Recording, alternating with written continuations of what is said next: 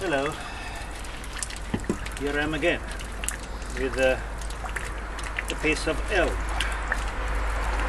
They say that it's a little bit difficult to split with the normal way as with the normal conventional axe.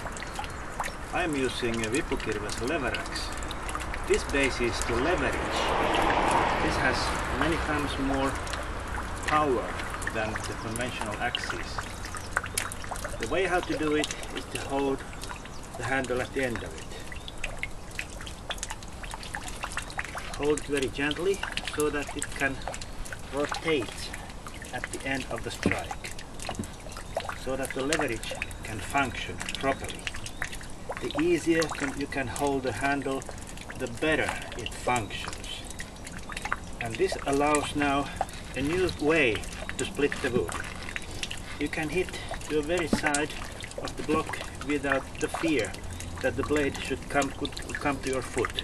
This always remains on the block. Let's see how it, go, how it goes. This is a very green, green elm and uh, let's, let's start working.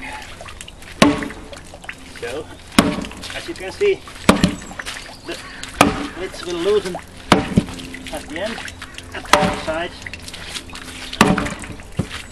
and nearly each strike will loosen and split. It's very rare that this would uh, stick into the block.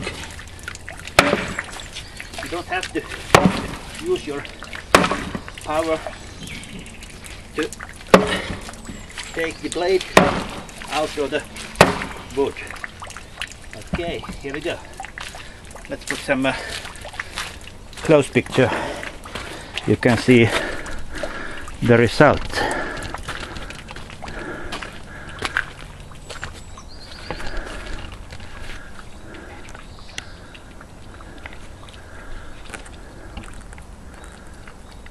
Very nice, huh?